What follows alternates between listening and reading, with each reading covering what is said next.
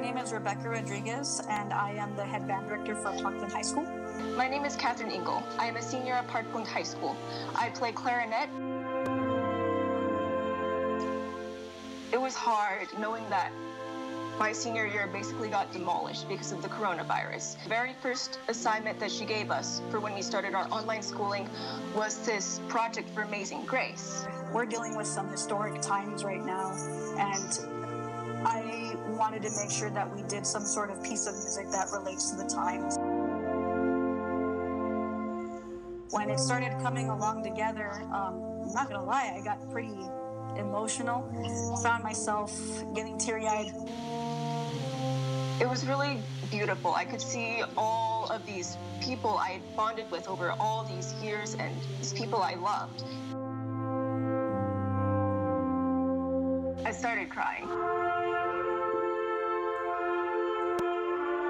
Of course, it's not exactly the same as being in front of my kids, but I, it at least felt like I was still working with them. We still have connection.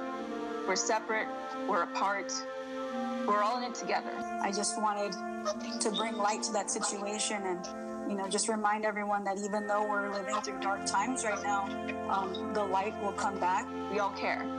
We all care, we love each other, and we want to do whatever we can to reach out to people who maybe are struggling right now, feel alone, and they need someone there.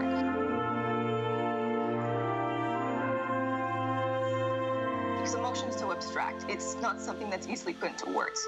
But music is more abstract, and so it's a lot easier to be able to feel and touch people's hearts with music.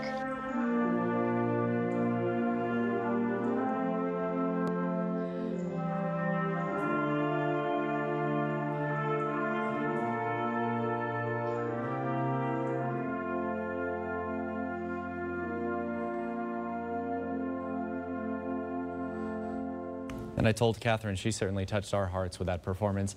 Catherine tells me she'll play on. She's headed to UTEP where she'll major in music composition. And for those of you asking for an encore, the Parkland Band will also play on. Rodriguez says more projects are in the works, if for nothing else, to say thank you to this senior class. What that student had to say just about how it really just, the coronavirus demolished the senior year. You know, when kids get into kindergarten, they're already thinking about what it's going to be like to walk across that stage and they already know what year they're going to graduate and little do they know what lies in store for them. Who could have predicted that their school year would end this way? They were heading into spring break, getting ready to, to prepare for UIL competitions and instead uh, ultimately found out and with YSD just announcing yesterday that they aren't going back to school. It is official that they won't be going back in class this is it uh, for them, but they are going to find other ways to play together.